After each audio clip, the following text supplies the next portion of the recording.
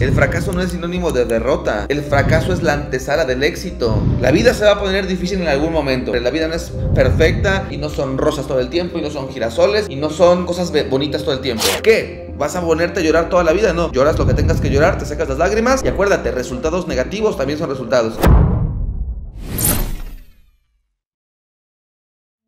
Una de las razones principales del por qué las nuevas generaciones, pero no necesariamente las nuevas, también pueden ser generaciones pasadas o las próximas generaciones, les va a costar mucho trabajo hacerse no únicamente de bienes materiales, sino también de un buen estado físico, de un buen cuerpo, de una buena salud, de una buena mentalidad, de tener emociones saludables.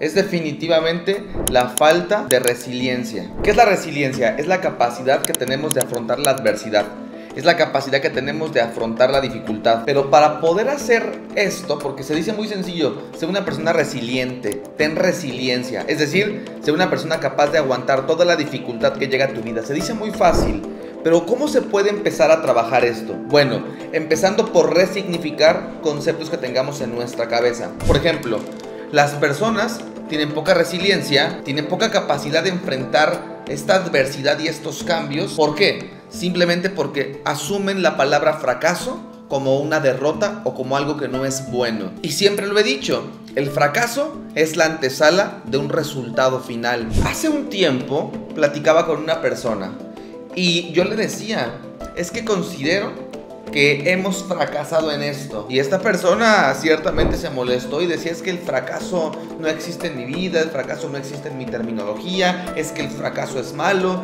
y es que no me gusta intentar cosas. Me lo transmitía ya un poquito más en lo privado, ya con la plática un poquito más avanzada y profunda. No me gusta intentar cosas porque siento que si fracaso entonces soy una persona que no está logrando nada en la vida. Si fracaso soy una persona que entonces no tiene valor. Y en esta plática yo le transmitía, es que tenemos conceptos completamente diferentes de lo que es el fracaso. Para mí el fracaso es el paso previo a tener éxito.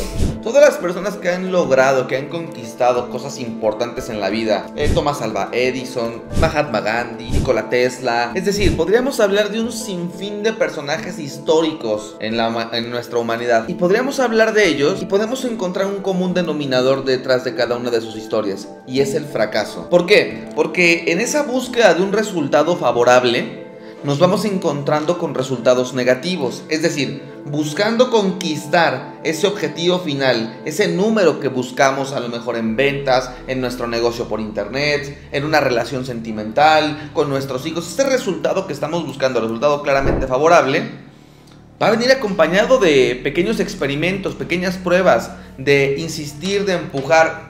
Y en ese proceso definitivamente nos vamos a equivocar, vamos a fallar, pero también siempre lo he dicho, resultados negativos al final del día también son resultados y nos dan información, nos dan data de lo que sí tenemos que hacer, de lo que no tenemos que hacer y en función de esa, de esa data que a lo mejor no nos está entregando los resultados que queremos, empezamos a tomar decisiones. Pero ¿qué ocurre? Que si hacemos el intento de algo y fracasamos, fallamos y asumimos que ahí termina el juego, entonces sí estamos derrotados. Por el contrario, si entendemos que cuando empezamos a hacer algo, la probabilidad de que no funcione es altísima y que vamos a fallar y entendemos el fracaso como un puente para llegar a ese resultado que estamos buscando, entonces estamos resignificando las cosas. Y cuando uno resignifica y cuando uno tiene esa arquitectura mental sobre alguna situación, se da cuenta que no hay bueno ni malo, solamente hay, solamente existe. Y eso nos va ayudando a llegar a esa vida que estamos buscando. Llámese tener un negocio rentable convencional, un negocio rentable por internet, tener unas mejores relaciones sentimentales, tener mejor relación con mis padres, con mis hijos. ¿Se va entendiendo el punto o no? ¿A qué quiero llegar con ustedes? Si una persona desarrolla esta resiliencia de la que hablo, puede lograr cosas importantes en la vida. Para cada persona lo importante es diferente y luego platicaremos de eso. Pero entonces el paso número uno para lograr resiliencia es resignificar. Entender que el fracaso no es sinónimo, esto a mí me encanta, el fracaso no es sinónimo de derrota, el fracaso es la antesala del éxito. Es decir, el éxito no tiene un antónimo llamado fracaso, o no es la parte contraria del fracaso, sino que el éxito viene precedido del fracaso justamente, no es lo contrario, es el paso previo.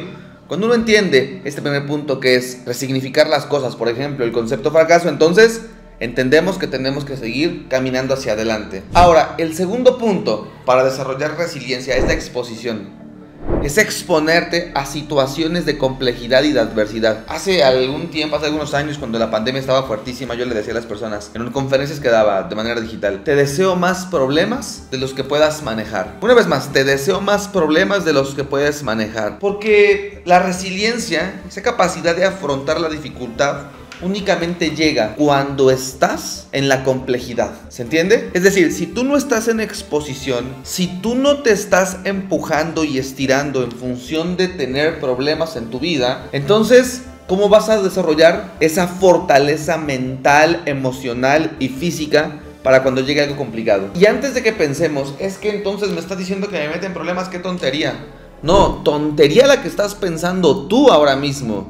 ¿Y por qué te digo esto? Porque no te estoy diciendo que te metas al barrio más bravo de tu ciudad, lleno de joyas, y que te pares ahí con una minifalda o que te pares con el celular, con tu super iPhone frente a todos para que te roben. No, no me refiero a esos problemas de irte a meter un barrio a las 3 de la mañana exponiéndote a un abuso, exponiéndote a que te roben o que hagan algo con tu cuerpo. No me estoy refiriendo a eso. Me estoy refiriendo a problemas calculados, a problemas a los que te vas a exponer de manera inteligente. Por ejemplo, un emprendimiento. Un emprendimiento está lleno de problemas y en la medida que más problemas resuelvas, más dinero vas a ganar. En la medida que más ayudes a través de tu negocio, más vidas vas a impactar. Entonces, ese es el tipo de problemas a los que te pido que te expongas. Tienes que estarte exponiendo a problemas calculados. Te deseo más problemas de los que puedas manejar. Por ejemplo, irte al gimnasio, trabajar en tu cuerpo, cargar más peso. Vaya que cuando estamos levantando mucho peso y cuando estamos en la última repetición sentimos que estamos en un problemón de será que esto lo levanto o no.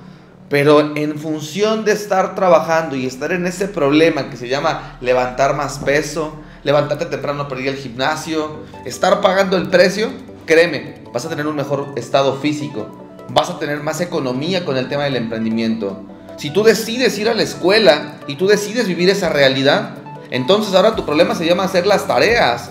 Ahora tu problema se llama levantarte temprano y cumplir mañanándote o madrugando o desvelándote haciendo esa actividad que te va a hacer un poquito mejor. ¿Qué trato de transmitirte? Elige los problemas. La vida está llena de problemas y está llena de dificultades. Tú elige tus problemas. ¿Qué problema eliges? El problema de levantar peso y sentir que ya no puedes más y que esa última repetición te está costando mucho, o el problema de tener una enfermedad por justamente no ejercitarte. ¿Qué problema prefieres? ¿El problema de cómo construyo, cómo dirijo equipos, cómo vendo más? ¿Cómo provoco tener más dinero en mi cuenta bancaria para cambiar mi vida y la de mi familia? ¿O el problema de decir no tengo absolutamente nada para comer? Como puedes darte cuenta, hay problemas. Hay problemas, tú elige qué problema prefieres, tú elige tu difícil.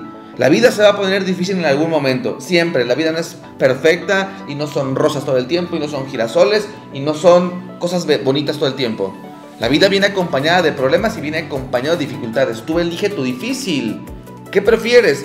Que llevar un plan de alimentación que es complejo, que puede ser difícil, llevar un emprendimiento, armar un equipo, aprender a vender, aprender a comunicarte, Tú elige tu difícil. ¿Qué prefieres? ¿Ese difícil o un difícil de escasez, de adversidad, de dificultad, de enfermedades? Tú elige tu difícil. Entonces, primer punto, primer punto, acuérdate, ¿cómo desarrollamos esta resiliencia? En función de resignificar la terminología con la que estoy entendiendo el mundo. Segundo punto, con la que puedo entonces crear resiliencia, la exposición, exponerme a momentos de dificultad, a problemas, eso es lo que va a provocar que yo desarrolle resiliencia. Y finalmente, el tercer punto, una vez que entendimos el ser resignificar, una vez que entendimos la exposición, el tercer punto se trata de la acción masiva, de acción masiva, es decir, de no dejar de moverte hacia adelante. Algo que también frecuentemente decía en la pandemia a la gente que le estaba enseñando a arrancar sus negocios de ventas por internet era, ok, tú puedes recibir un golpe, vas a retroceder un centímetro, porque claro que duele el golpe, pero vamos a avanzar un metro más. Y luego recibimos otro madrazo, retrocedemos un centímetro, pero vamos a avanzar otro metro más.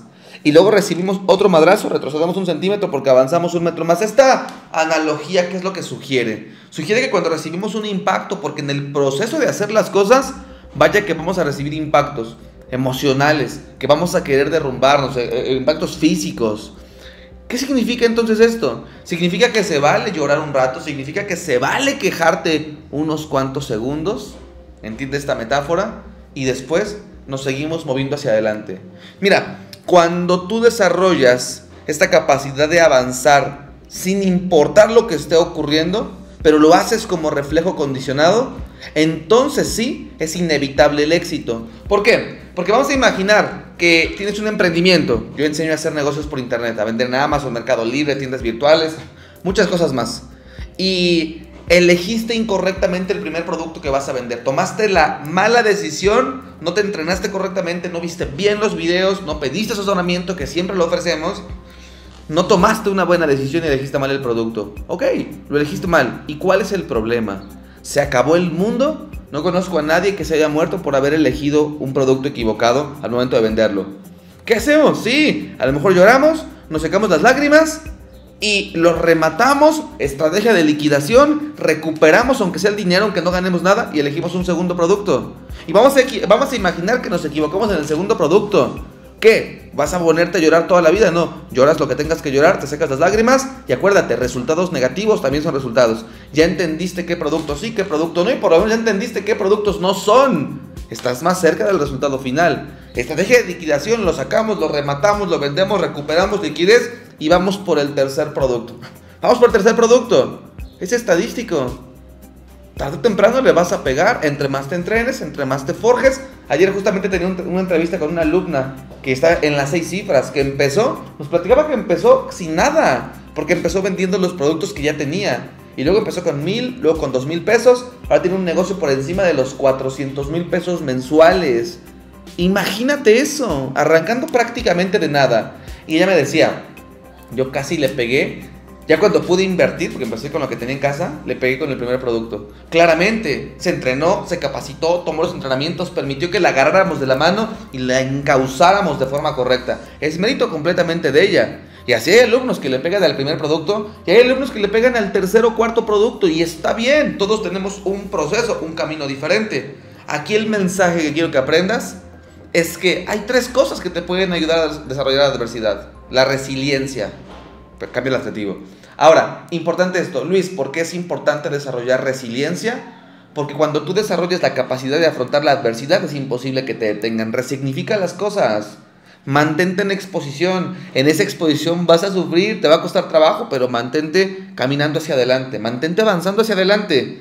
Y la forma de hacerlo es desarrollando este reflejo condicionado. Es decir, que cuando llegue esa adversidad, tú ya por inercia sigas avanzando. Y cuando llegue la adversidad, por inercia sigas avanzando. Ese reflejo condicionado que tienen por, por, o sea, de manera excelsa los boxeadores, en donde les tiran un golpe y ellos no razonan. El golpe viene a tanta velocidad, viene con su mano derecha, me voy a mover a la izquierda para cuando hagan eso estar en la lona. No, no, no. Ellos en cuanto ven que el movimiento sale por reflejo condicionado, están esquivando.